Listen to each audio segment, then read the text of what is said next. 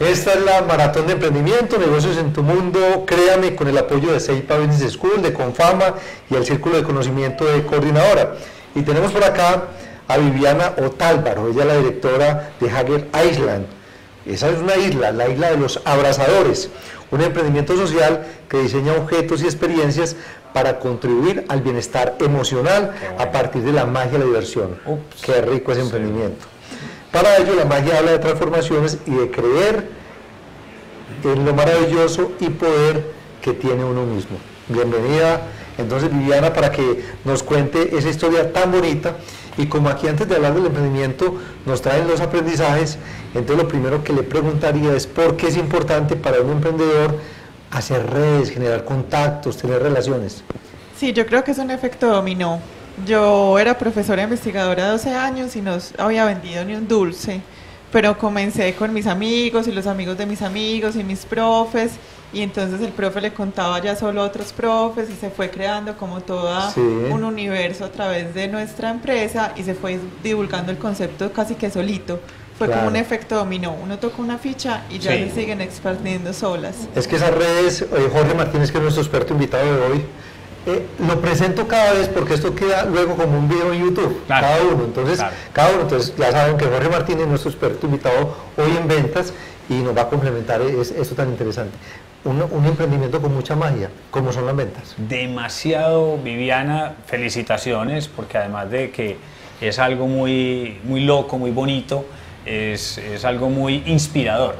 Y la magia de las ventas es pura inspiración. Entonces pienso que todo aquel que sea capaz de inspirar a otros es capaz de vender lo que sea. y, le voy a contar, cuando Viviana, Viviana no sabía cuando le hicimos la pre-reportería que usted venía.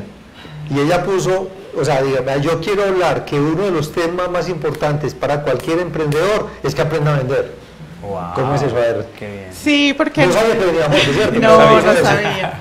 Sí, porque nosotros somos un emprendimiento social, entonces si tú compras una de nuestras herramientas como el abrazador, puedes donar otra a personas en hospitales o en hogares de adopción.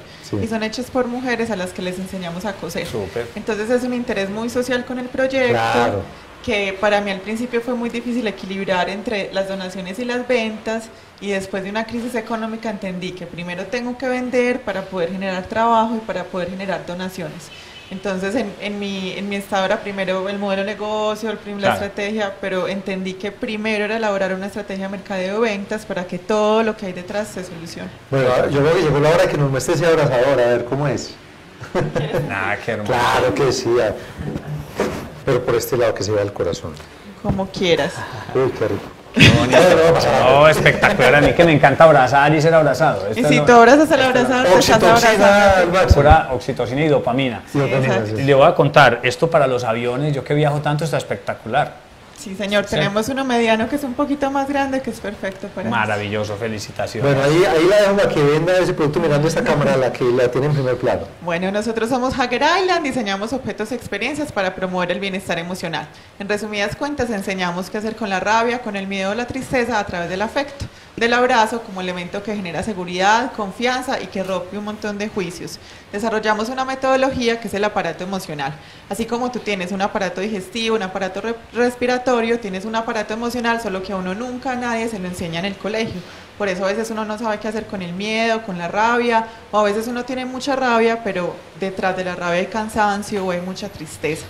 Y eh, diseñamos herramientas como el abrazador, es un ser que existe para abrazar, que viene con un libro que cuenta la historia. Él nace en una isla, no tiene ojos, orejas ni boca porque todo lo hace con el corazón, desde el corazón habla, escucha, y a través de esa historia vamos muy profundo al aprendizaje.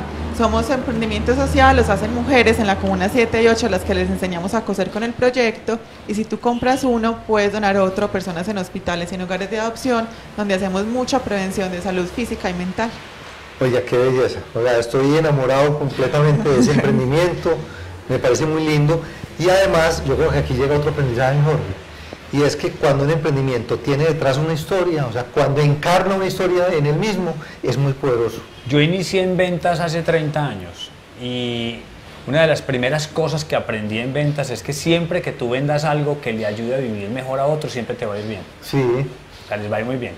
Gracias, eso espero. Muy bien, finalmente, ¿qué le quiere preguntar a Jorge Martínez? Hay una cosa que personalmente me da mucha dificultad de equilibrar y es esa, esa personal con eso profesional.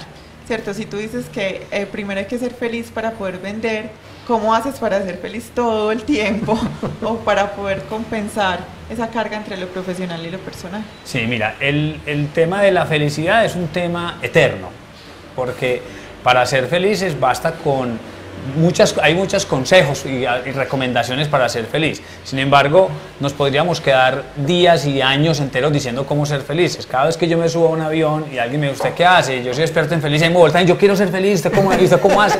O la gente quiere siempre esa recomendación. Entonces, digamos que una fórmula mágica no hay, pero sí hay elementos fáciles de ser felices. Por ejemplo, yo me declaré para ser feliz, desde niño me di cuenta porque era feliz y soy muy feliz porque yo soy un hombre de la vida fácil. Sí. No soy prostituto, pero yo soy una, lo, que, lo, que, llaman de la vida fácil, pero eso no, y además que esa vida no es fácil. Que tenga fácil, sí. No, ¿qué es fácil? Dos cosas eh, enmarcan, digamos, el criterio de felicidad de un ser humano. Las condiciones de vida. Una se llaman reglas fáciles y otra llaman reglas difíciles. Sí. Cuando tenemos muchas reglas difíciles, es difícil que seamos felices. Cuando tenemos muchas reglas fáciles, eh, voy a poner el caso de la persona eh, cascarrabias, que todo le da rabia, que todo le molesta, que me, me, choca el ruido, que me molesta la gente que habla así, que me choca la gente que habla de esta manera, que de esas personas difícilmente van a ser felices. El que todo le importa lo mismo 8 que 80, como dicen por ahí, ¿cierto?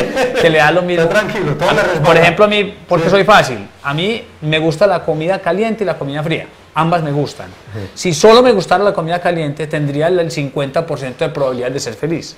En cambio, como me gusta toda, sí. y si se vinagró, también me gusta. O sea, claro. cualquier cosa de las comidas me encanta, o sea, a mí todo me gusta. El, a mí el día que más me gusta es el día soleado, en cambio me gusta más el día con lluvia. o sea, los días de lluvia, los días de sol me fascinan, o sea, todo eso me fascina. O sea, claro. muchas cosas de la vida se pueden disfrutar de una manera fácil, pero yo sé que tenemos un tiempo.